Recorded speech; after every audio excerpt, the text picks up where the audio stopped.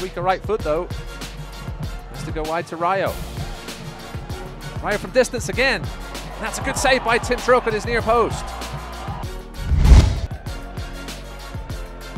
Knocked back over. Galindra's open. Pokes it. Saved by Christensen. Lovely ball in. Ricketts. Left foot cross looking for Galindras. The header's down off the post. Headed away. Poncho on the return. Otieno. It's scarce. It's saved. On the follow up, Lapsley another one.